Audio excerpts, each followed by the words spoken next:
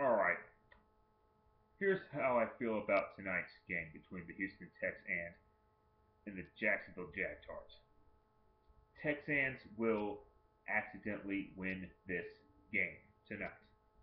Later, fuckers.